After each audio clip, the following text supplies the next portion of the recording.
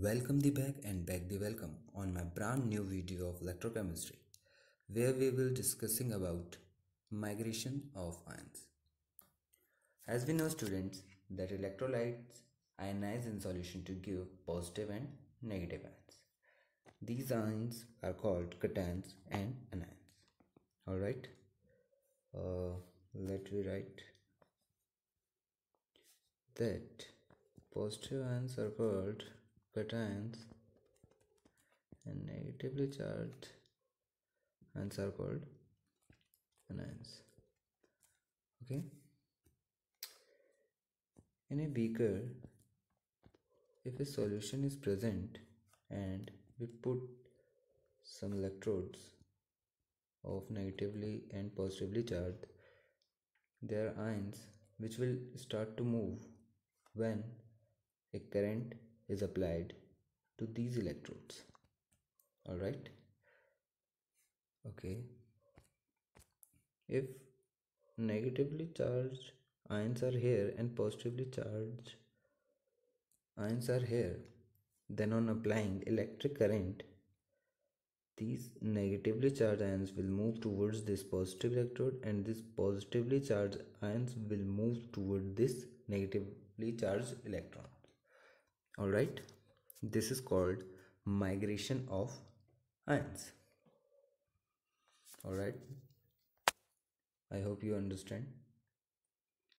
Now moving forward to this experiment where we will be going to determine how the movement of ions is taking place. All right. In this experiment a u-shaped tube was taken you can see on the screen. And in the bottom of the tube and in the bottom of the tube a jelly was taken which is agar agar jelly. And this jelly we added some traces of alkali.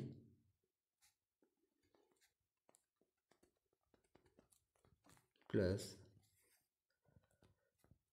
phenolphthalein this phenolphthalein was added to give it a red color. So what we get? A jelly with a red color. Okay.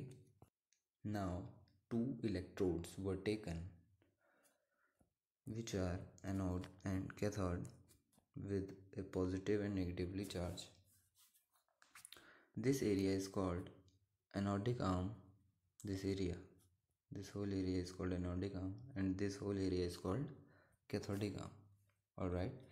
A dilute H2SO4 is taken in this anodic arm and uh, Na2SO4 was taken in this cathodic arm all right. Now passing current. Now passing current H plus ions these H plus ions from H2SO4 will start moving through this agar jelly and gradually a pink color appear. A pink color appear here in this jelly. Alright?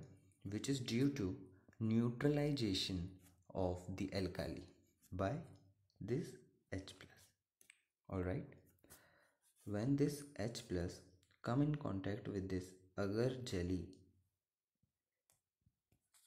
it neutralizes neutralizes alkali which is present in this jelly. And what happened after that? Red color change into pink color. Okay? And now what happens? A pink color band is start appearing from this side from anodic arm.